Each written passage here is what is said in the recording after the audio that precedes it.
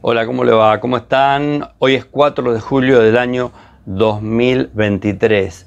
Es el aniversario de la independencia de los Estados Unidos, nuestra padre patria, ¿ok? 4 de julio del año 1776. Hoy es 4 de julio del año 2023, donde todavía el gobierno está digiriendo los sapos que se está comiendo este, en algunas provincias, este, y aparte la realidad de la inflación y todo lo demás que nadie se hace cargo en este bendito país. Pero vamos a hablar algo importante que es primero el clarinete del día de hoy, que vamos a hacer el programa el día 3, dentro de un rato hacemos el programa el día 4 que viene Saladix.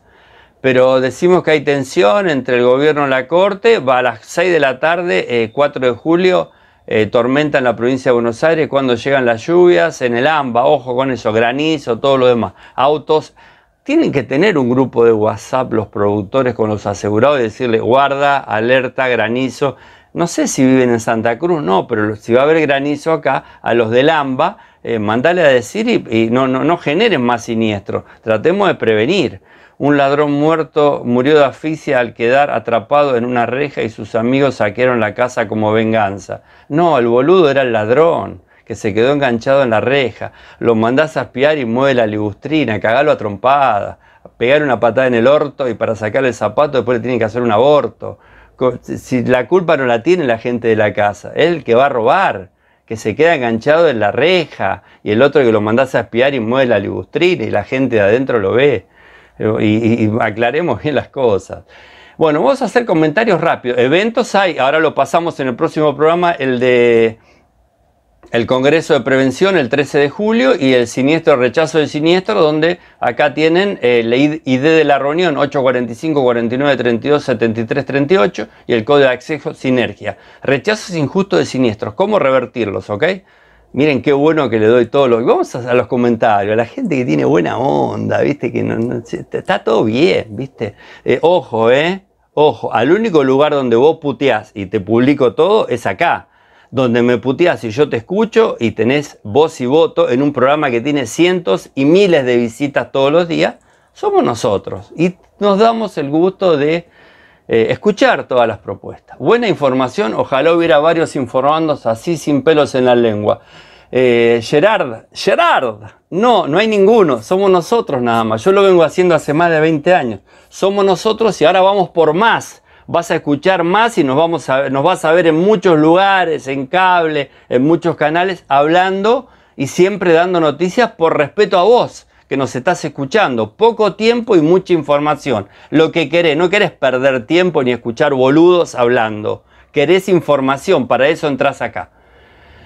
Daniel Layu, mala onda con nosotros, pero nosotros le vamos a leer todo lo que dice. Me gustaría saber la autoridad moral para emitir conceptos sobre los PAS. Ningún concepto emití, simplemente fue a, fue a 7, 8 compañías y encima me llegan acá los mensajes diciendo los productores preocupados porque van a las aseguradoras y le dicen los gerentitos que los productores, la mitad de los productores son todos chorros, con un loro acá arriba, con un parche, se roban todo siguen usando cobranza manual, vienen y, dejan un cheque a 90 días, quieren la comisión en el momento, arman fraude, eh, emiten pólizas aparte, arman certificado de cobertura, pasan de una compañía a otra.